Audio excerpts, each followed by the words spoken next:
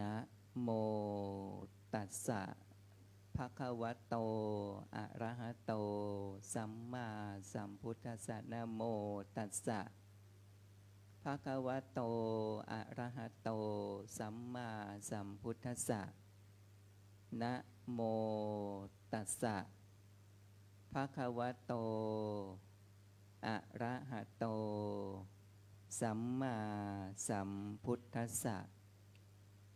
นิมิตตังสาธุรูปานัง กัตตัญญูกะตะเวทิตาติ ณโอกาสบัดนี้อาตมาภาพจากได้รับประทานพระเทศนา เนื่องในวัน แม่แห่งชาติ เพื่อแสดงถึงความกตัญญูกะตะเวทิตาคุณ เนื่องในวันแม่แม่ในวันนี้ จะได้นำเอาหลักธรรมคำสั่งและคำสอน ขององค์สมเด็จพระสัมมาสัมพุทธเจ้า มาทรงแสดงชี้แจงแนะนำสารธรรมทั้งหลายทั้งปวง อาศัยเหตุ วันคล้ายวันเกิด ของพระราชสมภพของพระเจ้าพันปีหลวง หรือเรียกกันโดยทั่วไปว่า วันแม่แห่งชาติ 12 สิงหานี้ เอามาเป็นเหตุแห่งการทำคุณงามความดี เราจะได้นำเอาหลักธรรมคำสั่งและคำสอนนี้ ไปใช้ในการเดิมเนินชีวิตของเราได้อย่างได้อย่างถูกต้อง สวยงามพร้อม ด้วยคุณธรรม ทั้งทางโลกและทางธรรม สูงสุดก็คือเพื่อความพ้นทุกข์ เบื้องต้นที่ยกหัวข้อคำว่า นิมิตตังสาธุรูปังปานังกตัญญูกตะวิตาทิตา แปลใจความว่า ความกตัญญูกตะเวที แปลว่า เป็นเครื่องหมายเป็นนิมิตหมายของคนดี ซึ่งพระพุทธเจ้า ก็ทรงประกาศหลักธรรมคำสั่งและคำสอน ในคำว่า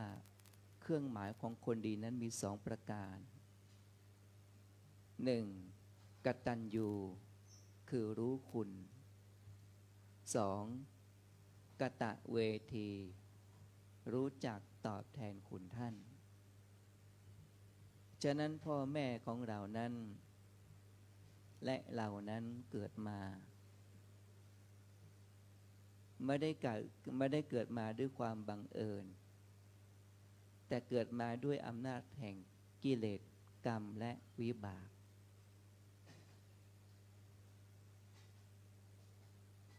โดยพ่อแม่นั้น ก็จะตั้งมั่นอยู่ในพรหมวิหารสี่ประการด้วยกันหนึ่งเมตตา ความรักความปรารถนาดีต่อลูกๆ กรุณา เอานุเคราะห์สงเคราะห์ช่วยเหลือเกื้อกูล อบรมสั่งสอนให้ลูกตั้งมั่นอยู่ในคุณงามความดี มุทิตา พลอยยินดีเมื่อลูกประสบผลสำเร็จ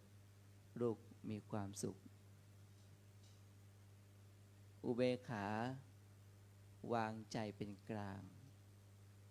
ทีนี้ความกระตัญญูผนวกกับความเจริญพรมวิหารธรรมนั้น สิ่งที่ประกาศสิ่งที่ประกอบด้วยเมตตานั้น ที่จะขาดไม่ได้ก็คือ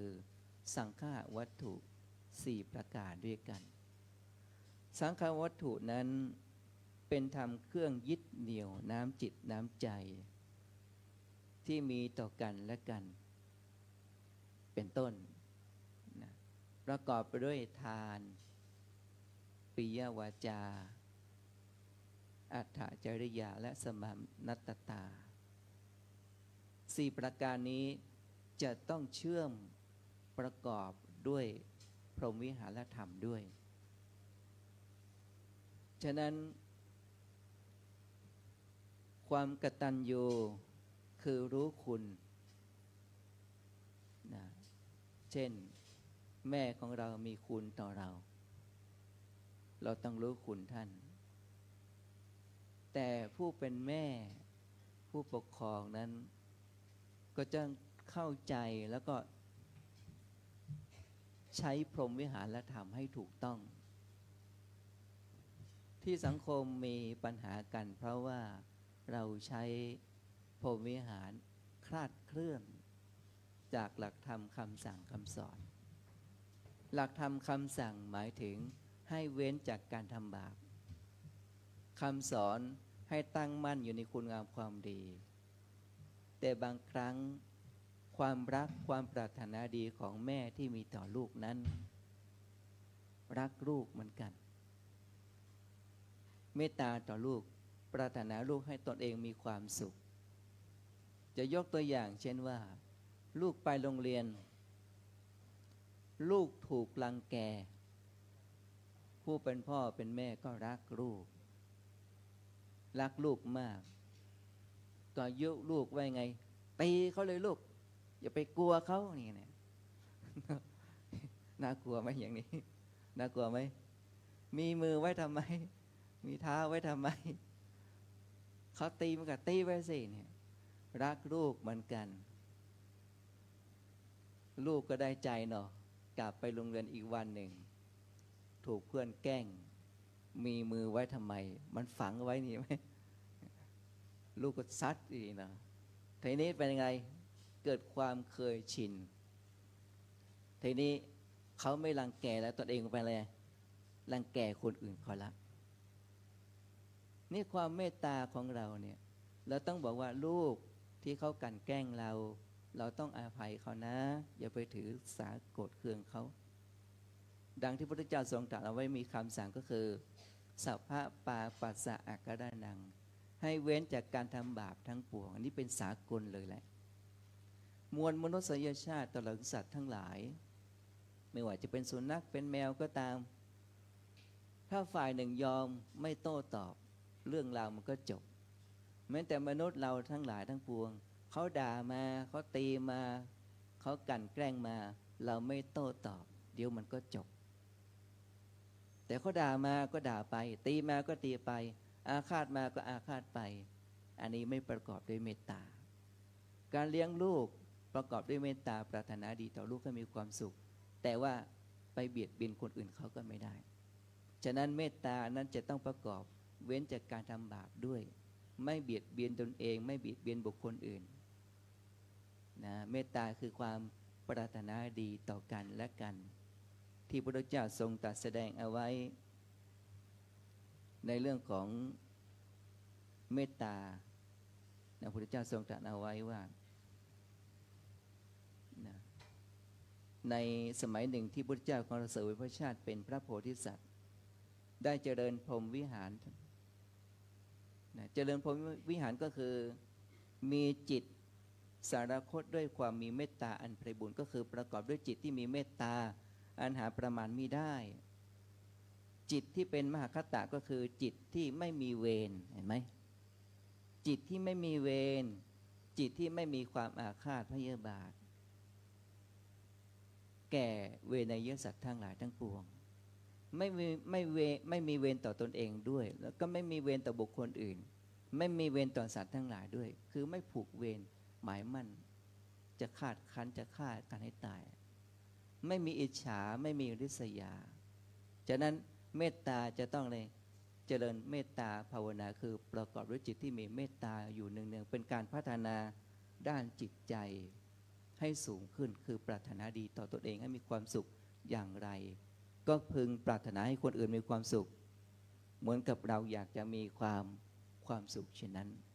แล้วก็ไม่มีเวรต่อกันด้วย ฉะนั้นการผู้เป็นแม่จะสอนลูกต้องแนะนำลูกว่าเราต้องปรารถนาดีต่อเขานะลูกนะ ไม่เบียดเบียนเขานะ ไม่กันแกล้งเขานะ ไม่พูดร้ายไม่กล่าวร้าย ไม่เบียดเบียนซึ่งกันและกันนะ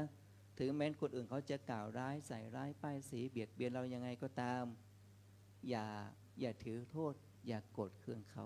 พึงให้อภัยกับเขานะ อย่าไปมีเวรกับเขา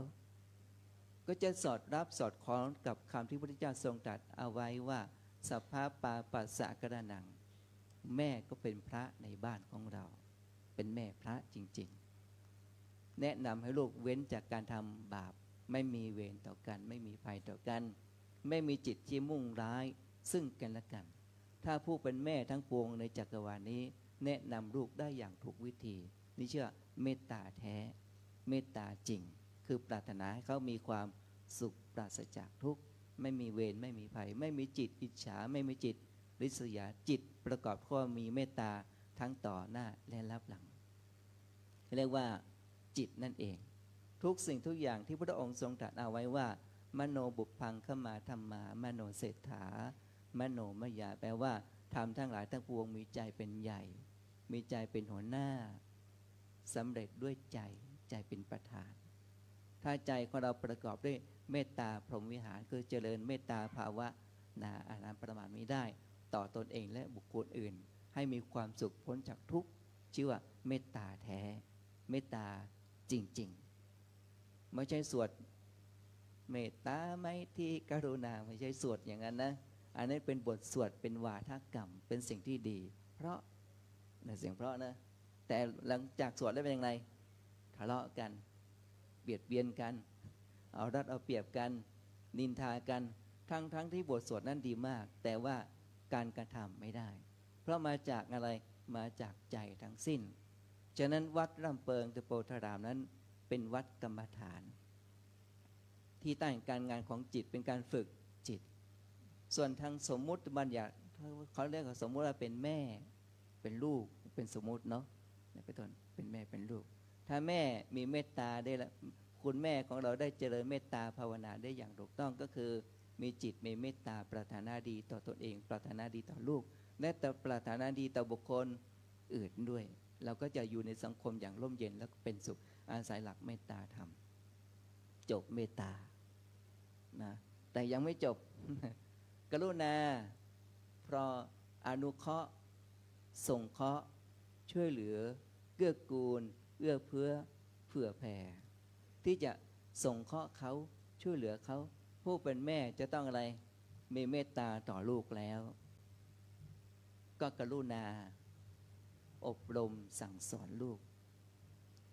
นะลูกประสบภัยพิบัติอะไรก็ช่วยเหลือเกื้อกูล ลูกเดินทางผิดพลาดพลั้งประการใด ให้อภัยกับลูก พร้อมที่จะสนับสนุนส่งเสริมเกื้อกูล ทนไม่ได้ ไม่ใช่ลูกของตนเองเท่านั้น ลูกของคนอื่นและทุกๆคนด้วย ต้องมีกรุณา สอนให้ลูกตนเองมีเมตตาตนเองเมตตาต่อทุกสรรพสัตว์ทั้งหลาย อันหาประมาณไม่ได้ แล้วก็จะสอนให้ลูกมีความเอื้อเฟื้อเกื้อกูล เกื้อหนุน เอื้อเฟื้อเผื่อแผ่ต่อสัตว์ทั้งหลายด้วย นอกจากไม่มีเวรไม่มีอาฆาตไม่มีพยาบาทแนะนำให้ลูกเลยอย่าไปอาฆาตพยาบาทคนอื่นเขาในลูกนะเราต้องช่วยเหลือด้วยน้ำจิตน้ำใจไมตรีจิตที่อันบริสุทธิ์ด้วย ฉะนั้นจะมีศัพท์ศัพท์หนึ่งที่ว่าทำดีไม่ได้ดี ใช่ไหมทำดีไม่ได้ดีทำชั่วเขาเรียกว่าอะไรนะทำดี ไม่ได้ดีทำชั่วได้ดีมีถมไปใช่ไหมระวังคำศัพท์นี้นะฉันใดเราอนุเคราะห์สงเคราะห์ช่วยเหลือเกื้อกูลคนอื่นช่วยช่วยช่วยช่วยช่วยกรุณานะ แต่ว่าความดีไม่ปรากฏทำไมเราทำความดีกับเขาทำไมเขาไม่ดีกับเรา เราก็ผ่านโกรธต่อเขา อันนี้ก็เรียกเมตตาเทียม แล้วกับกรุณาเทียม คือทำเพื่อหวังผลตอบแทน ถ้าไม่ได้ผลตอบแทนก็จะเกิดความอะไรเกิดปฏิฆะความขัดเคืองใจ อันนี้เขาเรียกกรุณาเทียม แล้วก็เมตตาเทียม ไม่ใช่เมตตาของพระโพธิสัตว์ ไม่ใช่เมตตาของพระพุทธเจ้า ไม่ใช่เมตตาในพุทธศาสนา เมตตานั้นจึงต้องออกมาจากจิตอันบริสุทธิ์จริงๆเราไม่มีอาฆาตไม่มีพยาบาทนี่นะกรุณาอนุเคราะห์สงเคราะห์จะทำช่วยเหลือกิจการงานคนอันใดก็ตาม ต้องไม่หวังผลตอบแทน ไม่หวังผลตอบแทน ถึงจะว่าเป็นกรุณาแท้ เห็นแล้วมันบีบคั้นที่จะอดที่จะช่วยไม่ได้ อยากจะช่วยเหลืออยากจะเกื้อกูล เมื่อช่วยเหลือเกื้อกูลแล้ว ไม่หวังผลตอบแทนใด ๆ ทั้งสิ้น แต่ว่าตรงกันข้ามกันบุคคลบางคนในโลกนี้ค่อนข้างที่จะไม่เยอะ ช่วยเหลือเกื้อกูล แต่หวังผลตอบแทนจริงว่าฉันทำดีฉันช่วยเหลือ ทำไมได้ค่าตอบแทนอย่างนี้ ไม่คุ้มค่าเลย เพราะหวังผลตอบตอบแทนนี่คือกรุณาเทียมนะฉันทำดีไม่เห็นจะได้ดีเลย อย่างนี้เป็นต้นนะอย่างนี้มันก็เป็นทุกข์เนี่ยเพราะมันทำด้วยอำนาจของความโลภคืออยากได้อยากมีอยากอยากเป็น เมื่อไม่ได้สมความปรารถนาตนเองตนเองก็หงุดหงิด ตนเองก็เบื่อท้อแท้เพอเพออาจจะเป็นโรคซึม ซึมเศร้าไปในที่สุด เพราะอะไรไม่สมปรารถนา พระพุทธเจ้าทรงแสดงอริยสัจสี่เรื่องของทุกข์ทุกข์เพราะความเกิดแก่เจ็บ ทุกข์ปรารถนาสิ่งใดไม่ได้สิ่งนั้นก็เป็นทุกข์มีความคับแค้นกายคับแค้นใจก็เป็นทุกข์มาจากกรุณานี่แหละ มาจากตัวกรุณาเอื้อเฟื้อผื่อแผ่แต่ว่าหวังผลตอบแทน แต่ไม่สมปรารถนาก็เป็นทุกข์จึงเกิดความคับแค้นแค้นคับแค้นคับข้องใจ จิตใจก็ขวนมัวแล้วก็เศร้าเศร้าหมอง อารมณ์ก็แปรปรวนฉะนั้นกรุณาจะต้องกรุณาจริง ๆ ก็คือช่วยเหลือเกื้อกูลเอื้อเฟื้อเผื่อแผ่ประกอบด้วยดักธรรมข้อที่หนึ่งก็คือ ปรารถนาดี อันหาประมาณไม่ได้ แล้วก็ไม่หวังผลตอบแทนในการเอื้อเฟื้อเผื่อแผ่นั้น เราจึงจะได้ชื่อว่า กรุณาอย่างแท้จริงนะเป็นต้น มุทิตา ถ้าเราเจริญเมตตาภาวนาได้อย่างถูกต้อง กรุณาอนุเคราะห์สงเคราะห์ช่วยเหลือเกื้อกูลเอื้อเฟื้อเผื่อแผ่ได้อย่างถูกต้อง โดยไม่หวังผลตอบแทนแล้ว เราก็จะมีความสุขที่ใจของเรานั่นเอง แต่ว่าร่างกายมันก็สุดโทรมแปรปรวนเปลี่ยนแปลงเป็นสากล นั่งนานๆก็จะเมื่อยบุคคลบางคนออกจากบ้านมาแต่เช้าไม่ได้กินข้าวไม่ได้กินน้ำเพราะอยากจะมาทำทำบุญ เป็นตัวนี้นะอยากจะทำบุญ แล้วก็นี่เออก็มุทิตาอ๋อคุณแม่เขาออกจากบ้านมาแต่เช้าไม่ได้กินข้าวกินน้ำเนาะต้องมากินกินมันหิวอะเนาะแล้วก็เออแล้วก็พลอยยินดีเนี่ยเขาทำความดีแล้วตั้งพลอยยิน ยินดีความยินดีมันมาจากใจของเรานะตามันเห็นปุ๊บไม่ต้องบอกว่าเรายินดี ไม่ต้องบอกว่าอนุโมทนาให้มันสวยหรูหรอกแต่ใจมันเห็นตาเห็นปุ๊บจิตมันมีเมตตาแล้วก็กรุณาแล้วก็ พลอยยินดีในส่วนความนี้มันมาจากใจทั้งสิ้นนะใจดีแล้วมันก็ดีหมดหมดนะไปตัวนี้นะเนี่ยมุทิตาก็พลอยยินดีในส่วนความดีของลูกของหลานของคนทั้งหลาย ไม่ใช่ให้ลูกยินดีในความยินดีของตัวเองเท่านั้นต้องพลอยยินดีของบุคคลอื่นด้วย ความยินดีนี่ต้องปราศจากอะไรเอ่ยปราศจากความอิจฉา ปราศจากความริษริษยา แต่บางครั้งเราเจริญพรหมวิหารสี่ผิดพลาดไป มีเมตตา ก็เมตตาเทียม กรุณาก็กรุณาเทียม แล้วจิตมันก็เห็นคนอื่นได้ดิบได้ดี เห็นก็เกิดความอิจฉาเขาริษยาเขายังไม่หนำซ้ำนะโยมนะยังไปผูกโกรธเขาผูกแค้นเขาถามว่าคนนั้นเขาจะมีความสุขไหมเอ่ยฉะนั้นพรหมวิหารที่อยู่ที่อยู่ของพรหมก็คือ แม่ของเรานี่จะสอนให้เราได้อย่างถูกถูกต้อง ฉะนั้น เราท่านทั้งหลาย เราฟังธรรมะข้อนี้เราจะได้อะไร เอาใช้เมตตาอย่างถูกต้อง ใช้กรุณาได้อย่างถูกต้อง แล้วก็พลอยยินดี คนอื่นที่ไม่ใช่ญาติไม่ใช่มิตรของเราเขาประสบผลสำเร็จเราก็ต้องพลอยยินดี แล้วก็ต้องแนะนำลูกของเราลูก เราต้องพอยินดีเขานะลูกนะ อะไรที่เป็นดี อนุโมทนา แสดงความยินดีด้วยนะ ต้องเกื้อกูลกัน ไม่ใช่สอนให้ลูกเรากอบกวย แต่สอนลูกให้เราช่วยเหลือสังคม มันก็จะไปสอดรับสอบคล้องกับ หลักธรรมที่ในสังฆวัตถุสี่ประการก็คือทำเป็นธรรมอันประเสริฐนะสังฆวัตถุนะธรรมที่เป็นเครื่องยึดเหนี่ยวทำให้จิตใจของเราเพิ่มอะไรเพิ่มคุณค่าจิตของเราให้สูงมากยิ่งขึ้นนะทำเป็นเครื่องยึดเหนี่ยวจิตใจซึ่งกันและกันสี่ประการด้วยกันหนึ่งทาน สอนลูกรู้จักการที่ทานเนี่ยโยมบางคนมีลูกมีหลานพาเข้าวัด รู้จักให้ทานให้ทานให้ทาน รู้จักรักษาศีลรู้จักการเจริญภาวนา รู้จักเกื้อกูลกัน แบ่งปันกันช่วยเหลือเกื้อกูลกันเป็นต้น โดยไม่ไม่หวังผลตอบแทนเนี่ยสอนลูกสอนหลานให้เกื้อกูลกรุณา แล้วก็สอนให้ลูกในพลอยยินดีในส่วนความดีของบุคคลอื่น โดยไม่มีจิตไม่มีอิจฉาไม่มีริษยา แล้วก็ไม่มีความตนีทีเหนียวการนั้นการให้ทานเพื่ออะไรเพื่อกำจัดความตนีที ทีเหนียว ถ้าคุณแม่สอนลูกอย่างนี้อย่างถูกต้องนะ รับรองถ้าโลกใบนี้จะอยู่ด้วยกันอย่างร่มเย็นและเป็นเป็นสุข อยู่เย็นแล้วก็เป็นสุขเหล่านี้เป็นต้นนี้นะปิยวาจา นอกจากสอนให้ลูกมีเมตตากรุณามุทิตาแล้ว สอนให้ลูกรู้จักการนิทาน สอนให้ลูกรู้จักอะไร มีปิยวาจาพูดจาไพเราะอ่อนหวาน เป็นต้นสำคัญมากนะปิยวาจาเนี่ย ใครมาต้อนรับ คือการพูดนะเนี่ยต้องพูดด้วยจิตที่มีเมตตาทั้งต่อหน้าและรับหลัง การทำอะไรก็ทำด้วยความมีเมตตาทั้งต่อหน้าและรับหลัง ฉะนั้นการคิดการพูดการกระทำทุกอย่างจะต้องประกอบด้วยจิตที่มีเมตตาทั้งต่อหน้าและรับหลัง ฉะนั้นคำพูดคำแนะนำบอกกล่าวนั้นเนี่ยเป็นวาจาไพเราะอ่อนหวาน ให้คำแนะนำสิ่งที่ดีที่งาม ปราศจากเวร คำพูดนั้นปราศจากเวรคำพูดนั้นปราศจากการอาฆาตพยาบาทคำพูดนั้นจ้องปราศจากอกุศลนั่นเอง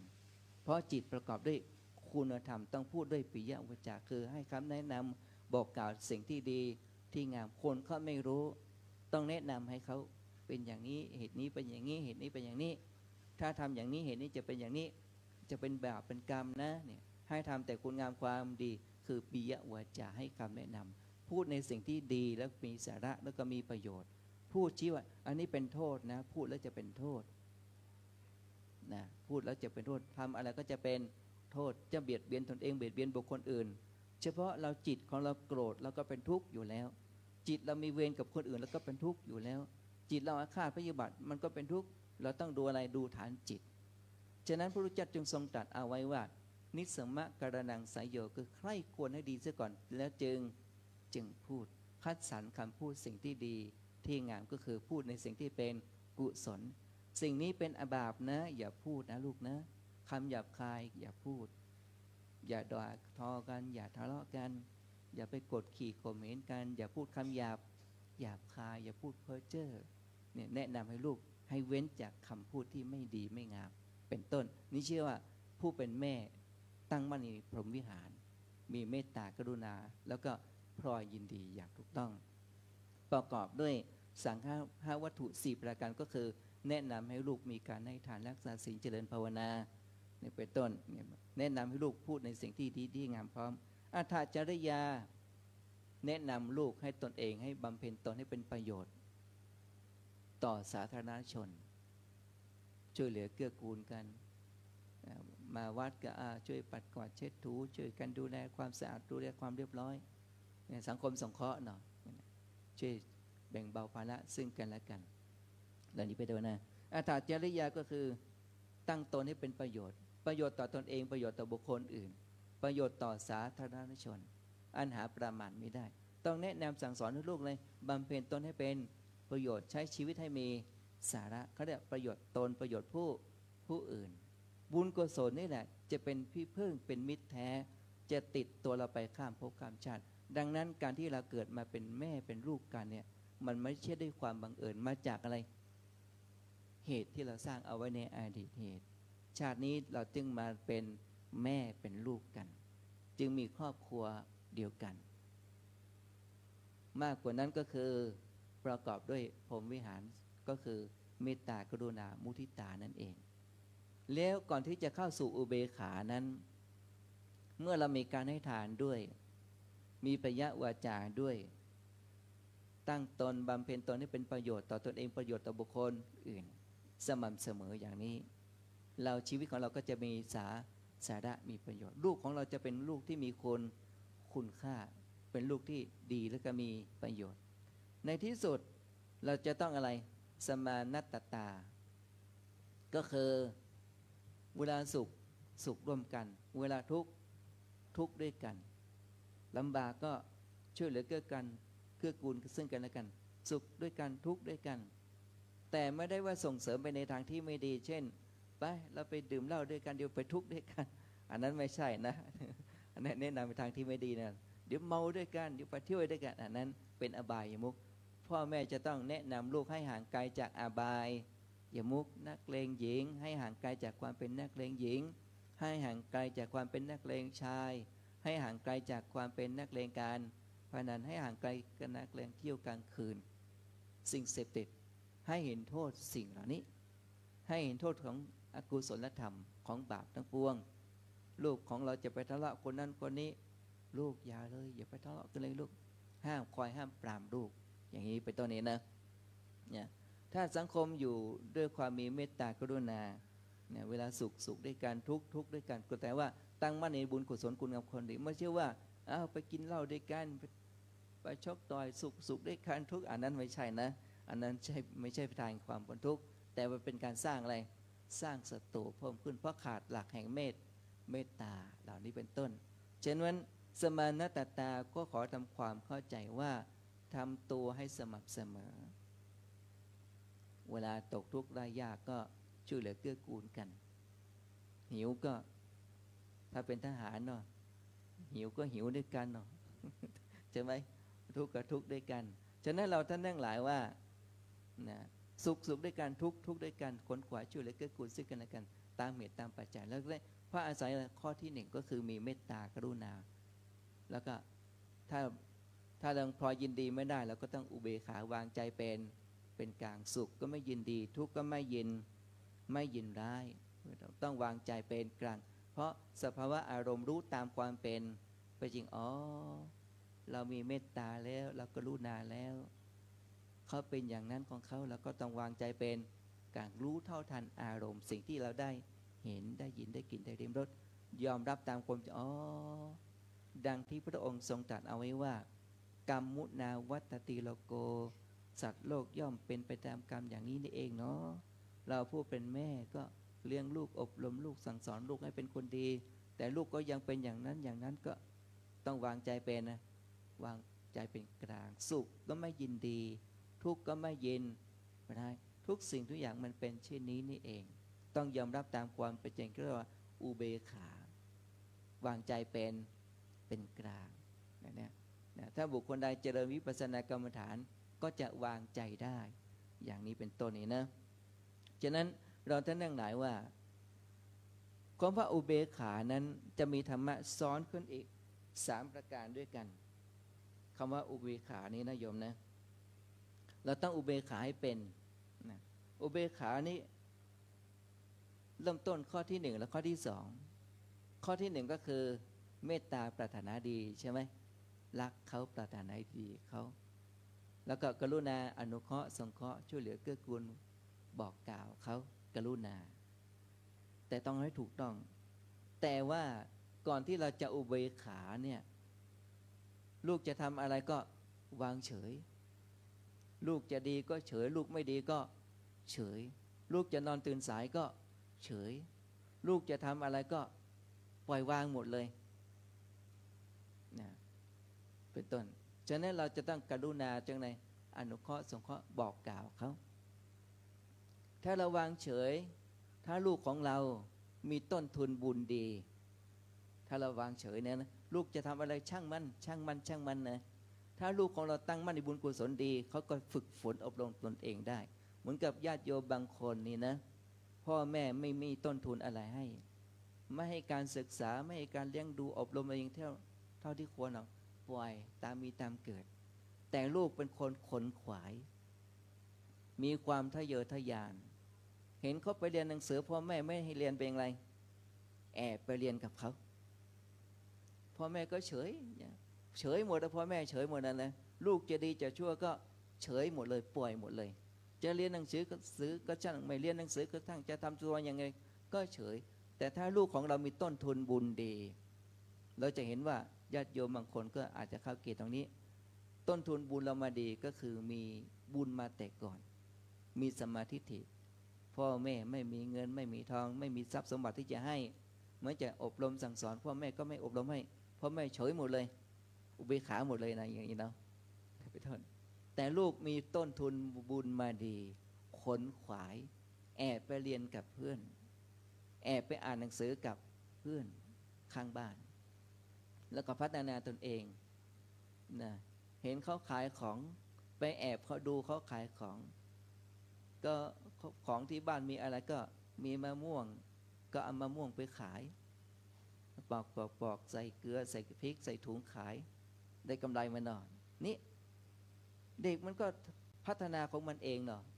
ไปแอบไปเรียนหนังสือ จนครูเห็นแล้วเป็นไงครูก็อนุเคราะห์สงเคราะห์ให้ทุนการศึกษา จนเด็กคนนี้พ่อแม่เฉยเขาหมดเลยนะ ถ้าเด็กคนนี้มีต้นทุนมันดีไปอย่างไร ก็เป็นคนดีในสังคมได้ เช่นเดียวกัน จนสร้างฐานะร่ำรวยก็มีเยอะแยะ เด็กกลุ่มนี้นะ นี่คือดีก็ก็ดีไป แต่ถ้าเด็กบงคลต้นทุนมาไม่ดีแบงไรมาจากกิเลสกรรมในวิบากพ่อแม่เฉยก็กินเหล้าเมายาเจ้าชู้เล่นก็เรียนหนังสือก็ไม่เรียน ถึงพ่อแม่จะส่งเรียนหนังสือก็ไม่เอาเนี่ยนะอันนี้คือ เขากิเลสเข้ามากับชีวิตของเขาพ่อแม่ก็อะไรวางเฉยอุเบกขาเหมือนกัน อันนี้ก็แย่เหมือนกันเนาะก็เป็นปัญหาระดับครอบครัว ปัญหาสังคม ปัญหาประเทศชาติเนี่ยอันนี้น่ากลัวนะอุเบกขาอย่างนี้นะเนี่ยถ้าดีมันก็ดีไป ถ้าไม่ดีเป็นอย่างไรมันก็จะพ่อแม่วางเฉย เฉยอย่างนี้พระพุทธเจ้าทรงตรัสว่า เฉยโง่ พระพุทธเจ้าเฉยโง่นะ แต่ว่าเราจะเฉยอย่างนี้ไม่ได้นะต้องแนะนำต้องมีต้องมีเมตตา ต้องมีกรุณาด้วยนะเฉยอย่างนี้ไม่ได้ฉะนั้นบางสิ่งบางอย่างเราต้องฝึกให้ลูกเขารู้จักทำเอง เช่น สอนให้เขาฝึกรู้จักซักผ้าเป็นล้างถ้วยเป็น หาเงินเป็น อ่านหนังสือเป็น สอนให้ลูกทำด้วยตัวของเขาเอง เพื่อเราล้มหายตายจากไป ลูกเขาก็จะช่วยเหลือตัวของเขาเองได้อยู่รอดปลอดภัยอันนี้คือสอนลูกให้เขาฝึกเขาทำงาน ฝึกให้เขาดูตนเองช่วยเหลือตน เองพัฒนาตน เองเพราะไม่ต้องคอยกำกับ ให้เขาได้ช่วยได้เช่น ใส่ถุงเท้าใส่ถุงเท้า ใส่ไม่เป็นก็ให้ใส่ไปให้เขาใส่ ใส่ถุงเท้ากับหน้ากับหลังใส่รองเท้ายังไง กับซ้ายกับขวาใช่ไหมตอนนี้เป็นตัวไหนพ่อแม่ก็ต้องเอาเอา ลูกใส่แล้วงั้นงามไหมหรอลูกเดินถนัดไหมไม่ถนัดอลองลองเปลี่ยนข้างดูสิเดี๋ยวลูกก็จะไปมีการพัฒนาของเขาเองไม่นะเนี่ยให้เขาช่วยเหลือตัวเองเขาสอนที่เขาซักเสื้อผ้าเป็นรีดเสื้อผ้าเป็นทำงานเป็น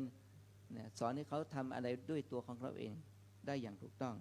นี่คือต้องฝึกให้เขาทำรู้จักทำทำเอง เพราะว่า เราเองก็ไม่ใช่ว่าจะอยู่กับเขาถึงร้อยปีพันปีใช่ไหมเราต้องสอนให้เขาช่วยเหลือตนเองเป็นได้ช่วยตนเองได้นะให้เขามีความรับรับผิดชอบ อยู่ในกฎกติกาสังคมก็ต้องเขาอยู่ในกฎระเบียบกติกาให้มีธรรมและวินัยด้วย ลูกอยู่ในสังคมอย่างนี้นะ จะต้องปฏิบัติตามกฎระเบียบสังคมบ้านเมืองเรานะ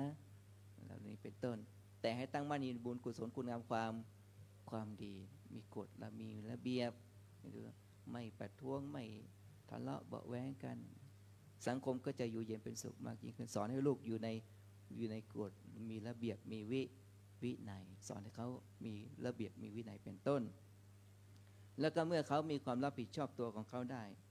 นั่นแหละเขาจะเป็นที่พึ่งของตัวของเขาเองได้ ดังนั้นหลักธรรมในพุทธศาสนาของเรานั้นเนี่ย ถ้าเราปฏิบัติได้อย่างถูกต้อง ก็จะนำมาซึ่งความสุขความเจริญฝ่ายเดียว และแล้วในที่สุดเมื่อเราทำหน้าที่ของเราได้อย่างถูกต้อง ตามที่คำชี้แจงแสดงธรรมานี้ แล้วเราเองก็จะมีความสุข เขาเองก็จะมีความสุข เขาก็อยู่ด้วยตัวของเขาพึ่งพาตนเองได้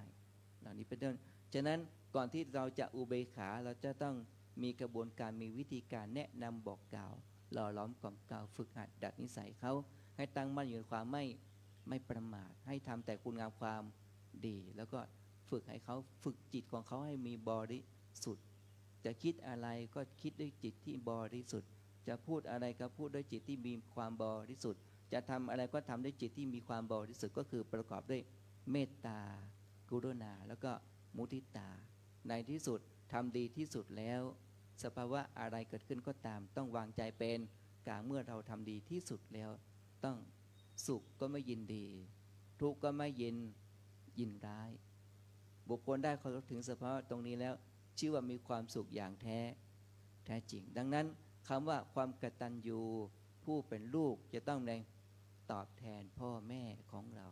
ผู้ที่มีพระคุณไม่ใช่เพราะพ่อแม่ของเราเท่านั้น เราต้องมี กตัญญูต่อผู้มีพระคุณต่อเรา บุคคลใดก็ตามที่คอยช่วยเหลือเกื้อกูลเอื้อเฟื้อเผื่อแผ่คอยให้แนะนำบอกกล่าวเรา เราจะรู้จักตอบแทนคุณท่านไม่ใช่แม่เท่านั้น คนอื่นก็กตัญญูช่วยเหลือเกื้อกูลเขาได้ ทุกระดับนะ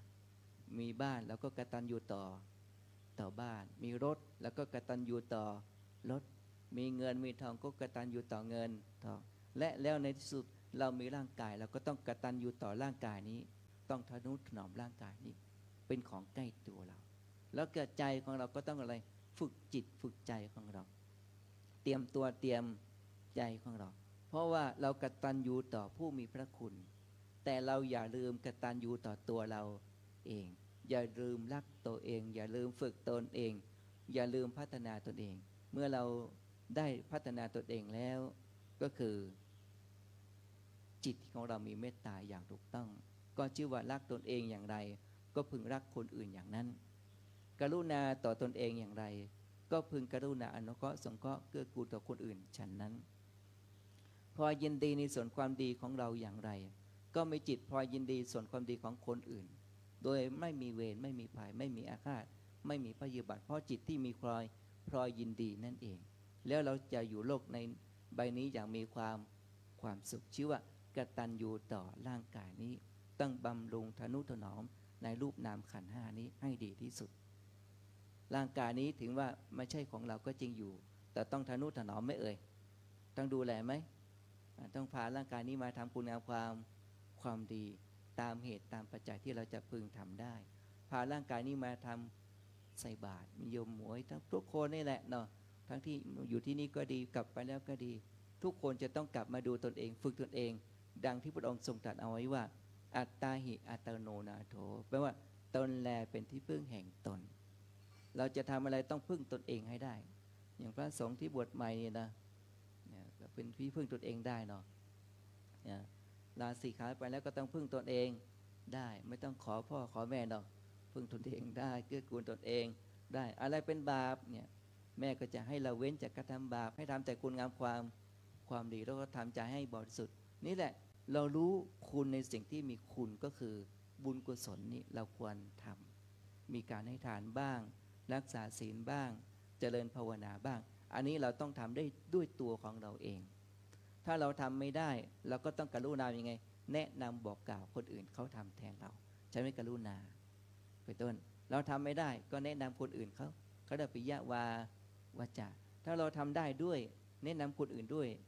เขาก็ทำด้วยเราก็ทำด้วยก็เรียกว่าบำเพ็ญตนให้เป็นประโยชน์ต่อตนเองกับบุคคลอื่นนะทั้งต่อหน้าและหลัง ด้วยจิตที่มีประความปรารถนาดี แล้วก็เราก็จะพลอยยินดี แล้วเราก็จะมีความสุข เขาก็จะมีความสุข ดังที่ในสังฆวัตถุ 4 ประการก็คือข้อสุดท้ายก็คือทำที่เป็นเครื่องยึดเหนี่ยวจิตใจ ซึ่งกันแก่กันทำให้โลกดำดำเนินชีวิตในโลกนี้อย่างมีความสุขก็คือ เวลาสุขก็สุขด้วยกัน เวลาทุกข์ก็ทุกข์ด้วย ด้วยกัน แล้วก็มีการเป็นบำเพ็ญตนให้เป็นประโยชน์ต่อตอนเองและบุคคลคนอื่นสม่ำเสมออย่างนี้นะทำตัวสม่ำเสมอเสมอต้นเสมอปลาย แล้วก็ต้องมีปิยวาจาให้คำแนะนำบอกกล่าวในสิ่งที่ดีที่งามอะไรไม่ดีก็บอกว่าไม่ไม่ดีอะไรดีก็บอกว่าดีส่งเสริมกันไป มันจะไม่เพี้ยนมันจะไม่ออกนอกกรอบหลักพระพุทธศาสนาของเรา ดังที่พระองค์ทรงตรัสเอาไว้ว่า สัพพะปาปัสสะอักระนัง ให้เว้นจากการทำบาปทั้งปวงก็อยู่ในหลักของพระศาสนาของเรานี่เองนะกุศลสูปสัมปทาให้ทำแต่คุณงามความความดีถึงพร้อมด้วยบุญกุศลคุณงามความความดีที่เราได้ประพฤติปฏิบัติข้ามภพข้ามชาติ ชาตินี้เรามาเจอกันก็ทำความดี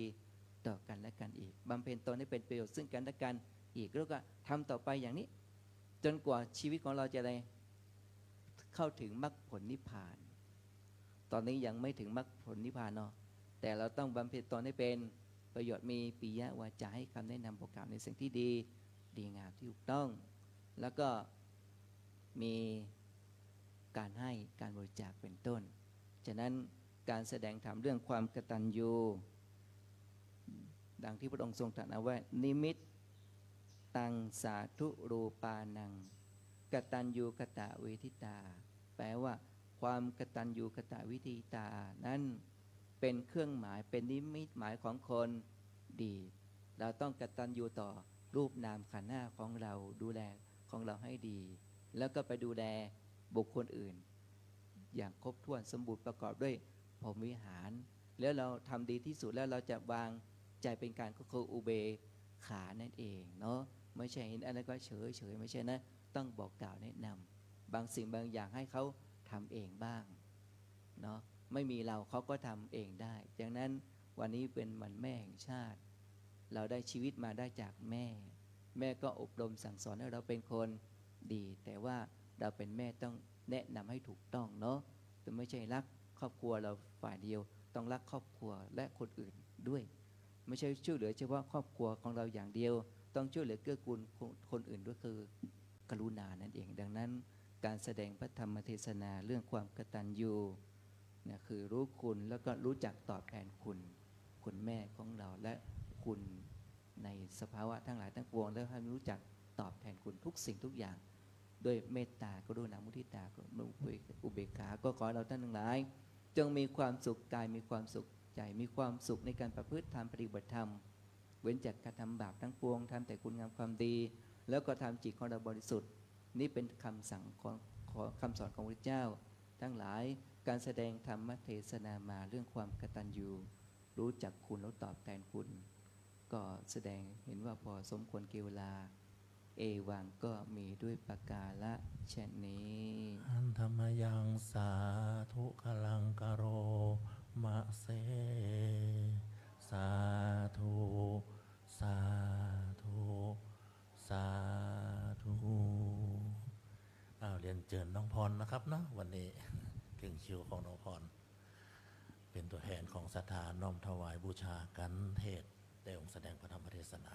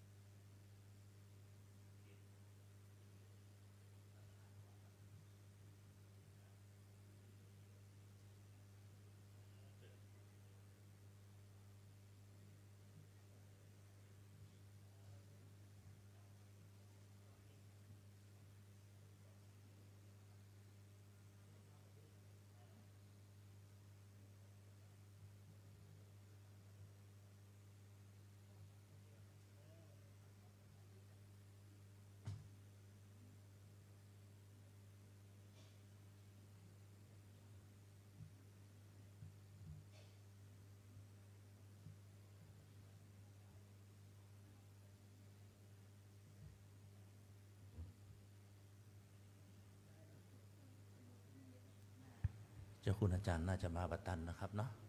เป็นอย่างนะครับกิจกรรมก็จะได้ดำเนินต่อไปนะครับ อันธรรมยังพุทธัสสะภะคะวะโต อุปภาคณมะคะลังกะโรมะเส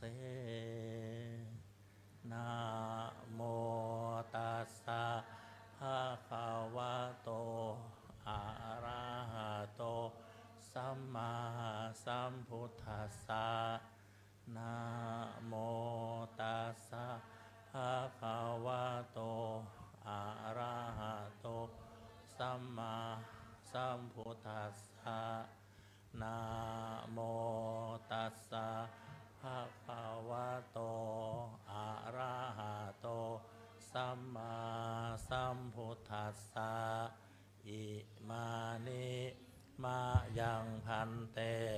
พัตานิสัปปริวารานิภิกขุสังคัสสะโอโนชยามะสาธุโนพันเต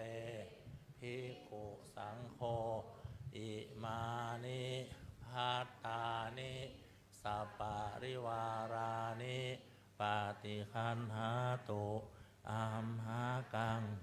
ทีคารตังหิตายะ สุขายะ ข้าแต่พระพิสุสงฆ์ผู้เจริญ ข้าพระเจ้าทั้งหลาย ขอน้อมถวายพัตตาหารกับทั้งบริวารทั้งหลายเหล่านี้ แก่พระพิสุสงฆ์ขอพระพิสุส งฆ์จงรับพัตตาหารกับทั้งบริวารทั้งหลายเหล่านี้ ของข้าพเจ้าทั้งหลาย เพื่อประโยชน์และความสุข แก่ข้าพเจ้าทั้งหลาย มีบิดามารดาเป็นต้นด้วยตลอดกาลละนานเทินสาธุ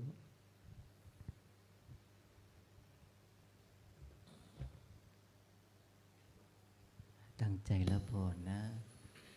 อุทิศบุญกุศลไปถึงบรรพชนบรรพบุรุษของเรายะถาวะริวาหาปุราปาริปุเรนติ สาคะรังเอวะเมวะอิโตทินนังเปตานังอุปะกัปปะติ อิจฉิตังปัตถิตังตุมหัง ขิปปะเมวะ สะมิชฌะตุ สัพเพปูเรนตุสังกัปปาจันโทปัณณะระโสยะถา มะณิโชติระโสยะถาสัพพีติโยวิวัชชันตุสัพพพะโลโลกกวินาสตุมาเตภวัตวันตารายโยสุขิติขายุโก ภวะอภิวาทนาสิริสานิจังวุธาปัจจา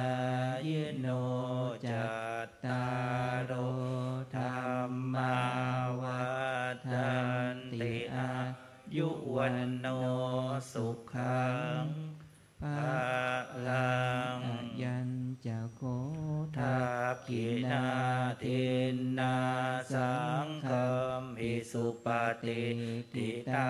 ทิคารตังหิตายาสัทานาโสอุปกาปฏิโสยาติธรรมโม